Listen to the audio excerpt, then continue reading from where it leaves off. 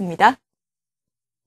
네, 시장에 큰 변화는 없는 상황인데요. 이런 가운데서도 우리가 관심 가질 만한 공약주 어떤 것들이 있는지 알아보겠습니다. 오후장 공약주 한국투자증권 이프렌드의 이나혜 연구원입니다. 안녕하세요. 네, 안녕하세요. 네, 오늘 어떤 관심 종목 준비를 하셨습니까? 네, 오늘 준비한 종목은 반도체 패키징 전문 기업인 시그네틱스입니다. 뭐 2012년 비메모리 부분의 매출 비중이 65%로 실적 안정성이 매우 높은 기업이다라고 볼 수 있겠는데요. 많은 IT 중소형주들이 최근에 강세 흐름을 보이는 가운데 반도체 부분에서 수요 성장이 기대되는 종목들로 매수 확산세가 전개되고 있습니다. 다각화된 거래선에서 다양한 제품 구성을 갖고 있기 때문에 매우 안정적인 실적 성장이 이어지고 있는 상황이고요. 2013년에는 메모리 반도체 출하량이 증가되면서 다소간 둔화됐었던 성장성이 재조명받을 것으로 판단하고 있습니다.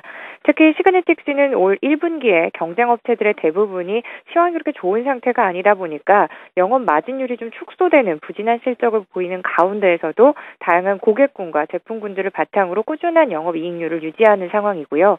2013년 상반기를 기점으로 해서 상대적으로 이익률이 낮지만 전체 매출이 50% 이상을 차지하는 FPGA 매출 비중이 20%로 축소되고 부가가치가 높은 플리치 CSP의 제품 비중이 확대될 것으로 전망하고 있습니다.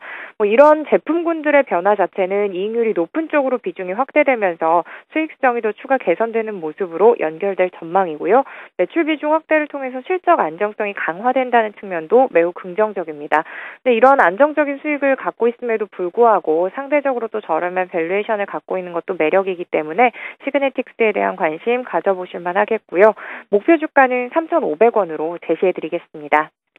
네, 잘 알겠습니다. 시그네틱스에 대한 투자 전략 들어봤습니다. 한국투자증권 이프렌드의 이나혜 연구원이었습니다. 고맙습니다. 네, 감사합니다.